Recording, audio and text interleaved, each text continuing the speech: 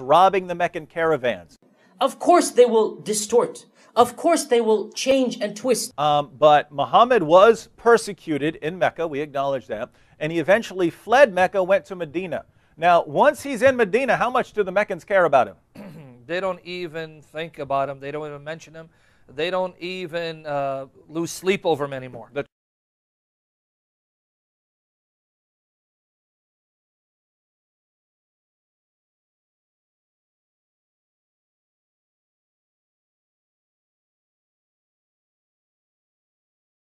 Troublemaker is gone. We That's can it. we But- can we can go we can get some sleep now, So right? life is back to normal. And Muhammad, now that he was in a different city, he had the opportunity to live in peace without conflict and just couldn't do it. What does he do? He starts robbing the Meccan caravans. It's robbing the Meccan caravans. It's robbing the Meccan caravans. And there are once again many examples here.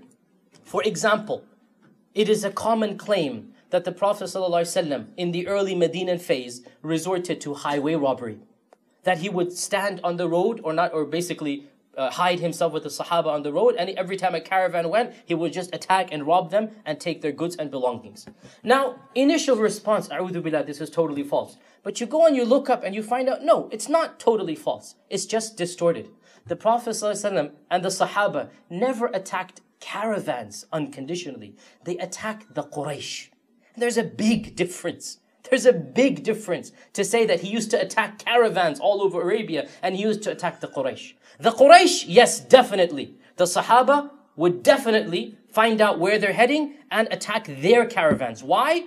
Because of 13 years of oppression, because of being expelled from their own countries and lands, because of confiscating their property. The Quraysh expelled the Muslims, took over all their money. The Sahaba had no money when they left for Medina, the Muhajirun.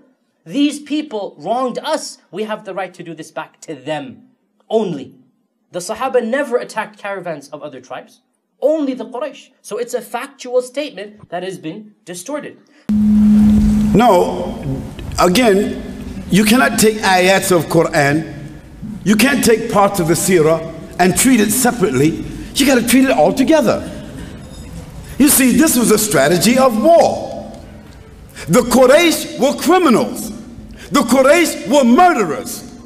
The Quraysh was already committing hideous crimes against the believers.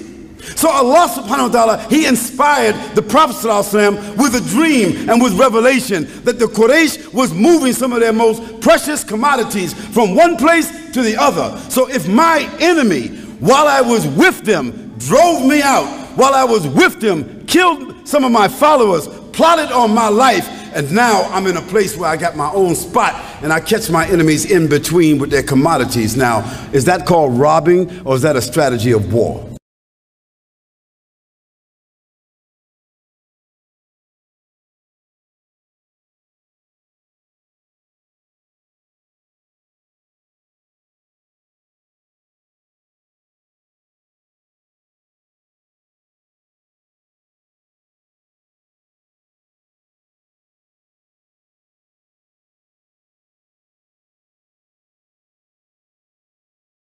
No, he stopped the caravan in between. He didn't kill no women, he didn't kill no children, and he didn't take from nobody except those who was robbing and stealing and killing and transgressing before. And he didn't do that consistently. He did it on the basis of the strategy of war that Allah subhanahu wa ta'ala revealed to him at that time and place. And anyone who was in a battlefield would have done the same thing, right or wrong.